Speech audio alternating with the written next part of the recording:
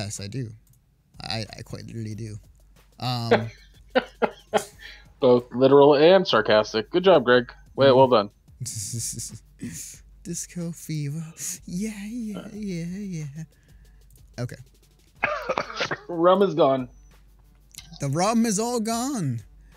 All right. So, this next story um is from CNN.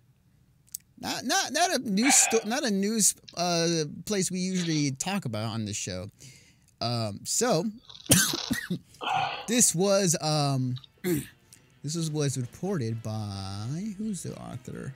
Give me a second. Ah, um, Susan Sc- Scutti um, on WHO to recognize gaming disorder as mental health conditions in 2018.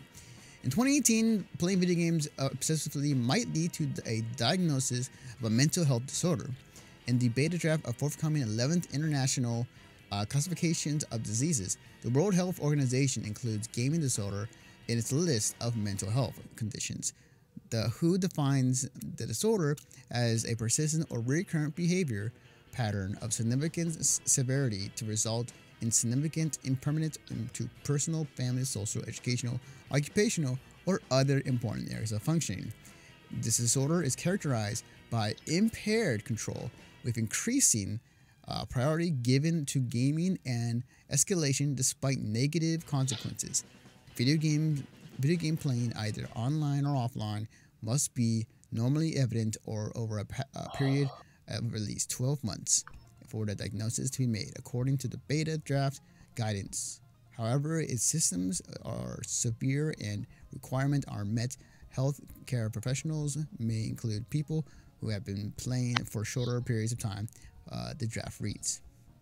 And I'll put the entire link in the chat for you guys want to check it out. But basically, this was having a whole bunch of hoopla uh, the other day in regards to the um, in regards to the uh, um, you know is is gaming a disorder or it's gonna become a it's gonna become a disorder uh, pretty soon as, as labeled as such.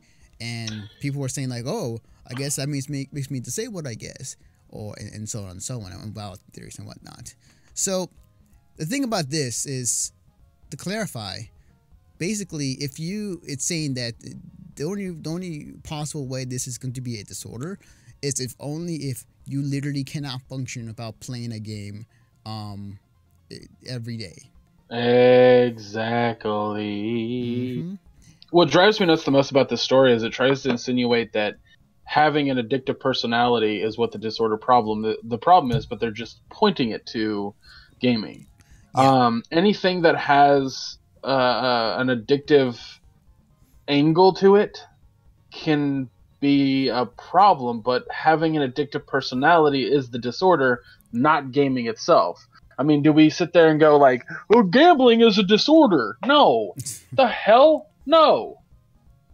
Oh, So yeah, like this definitely has not only had people, you know, breaking the question. It's like, oh, am I am I am I uh, disabled because of this? Um, or are people in, within the industry disabled because of this?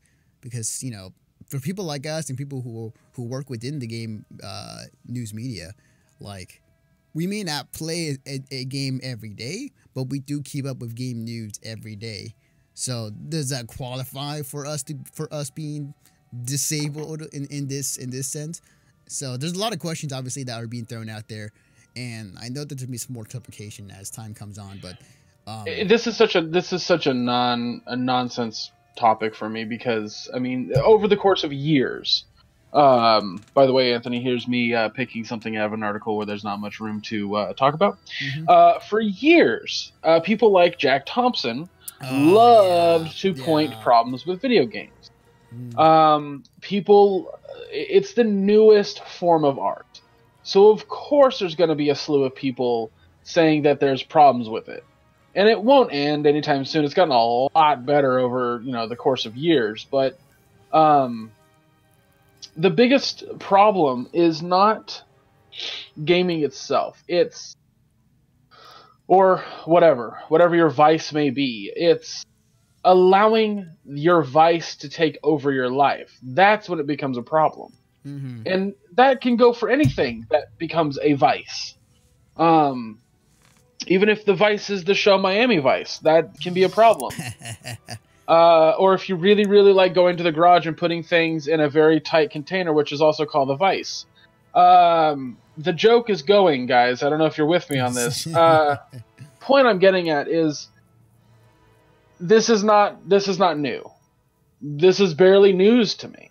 This is a new group of people disliking video games or not understanding it as an art form and and, and coupling it to a problem that is an actual problem. Addictive personalities, being addicted to things, is more of an issue. And going to a therapist or going to a doctor and getting diagnosed that you have a high um, a high disorder for addictive substances in general, or just easily addicted to things, that is where the where you'll get help. Going to whoever the hell made this damn article, um, now CNN made the article, but whoever made the the uh, uh, like it could be a disorder. That's not where you're going to get help. You're going to get help by going and seeing a professional who can help you with your personality, your addictive personality. If I go to a, a person that has a high addictive personality, and I say, "Okay, you're addicted to video games, and we take all your video games away," they're going to find another vice. They're going to find something else that is going to hurt them more. Having video games as a vice, also, just throwing this out here, video games as a vice is probably the least of your problems. Yeah. Uh, I, would rather yeah. have I'd rather have somebody have a vice to video games than to let's say eating or smoking Yeah. or being addicted to drugs or Yeah. gambling. That's true. It's true. It's very true. Um, I, I- I think that it's interesting the fact that this is going to be a thing in 2018 in regards to like it's going to be it is going to be labeled as a as a disorder um, within the mental organization um, group in the U.S. So I'm kind of curious as far as like how that goes when, when it, how that develops. But regardless, like this doesn't apply to everybody, honestly. Like it only applies to those who are who who need help. Yeah, for those who are like who are who who literally cannot survive a day in their life without playing the game. Um, and you know that then then it's like okay, yeah, you you need you need help to get that situated. Um, it's very interesting the fact that this is it's happening and it's becoming a thing. Um, whether it's going to change the way that everybody does, you know, play games, cover games, or whatnot, like it doesn't really. Like No, no, it's not. It's not gonna. No, like the top head professional of the medical association come out and say like video games are causing cancer, and it's not gonna stop people from playing video games. yeah, Because it certainly didn't stop people from. Oh, this is a terrible analogy, but it certainly didn't stop people from smoking. yeah. I have to say the same same thing too. Yeah, like like like like hey, look, I'm drinking alcohol right now. Like I'm not supposed to drink any like a, a, a good portion of this, but I know that I'm gonna drink it. Oops, I'm gonna drink this. Also, bounce it off of something that makes a cool sound. Yeah. Um, I'm gonna drink this, knowing that. Does that make me an alcoholic? No.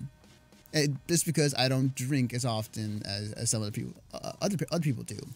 So it, you know, small small doses.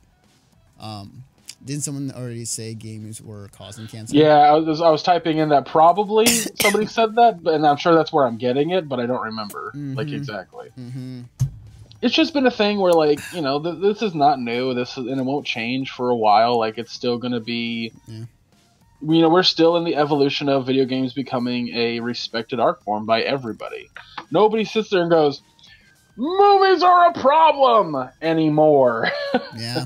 because they did it one time. Yeah, so. that's true. That's true. If you think about it, it went from comic books. Well, no, was it was it comic books first or Uh, comic book, comic books got it. Movies got it. Uh, every generation of, of music gets it. Oh, like it's yeah. still like this music is causing problems with our children. Shut up. Yeah. Um, uh, it, it it always happens. It's always a thing. Uh, Mhm. it's just I think people people don't want to look in look inside themselves for the problem. They would rather point the finger. yeah. Yeah. It's Anthony, I'm just gonna throw this out here. You put 20 minutes on this, but I'm pretty sure we're done in 40 seconds. yeah. Yeah. I I I, I uh, definitely uh we could probably cut it on here.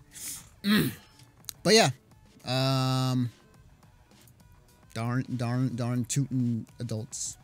Speaking of comic books, I need to. I, I really want to go buy the uh, uh, issues of. Uh, well, I think it's only one issue, but the um, Watchmen DC co- crossover comic series. Uh, yeah. I can't remember the name of it. Something about Doomsday. Doomsday Clock. That's what it is, oh, Doomsday you know. I, I just saw, I just saw that when I was at the comic book store the other day. I was thinking of picking it up too. I was like, ooh, to forget about that. Um, all right. So how long do you want to set this till? Because uh, the next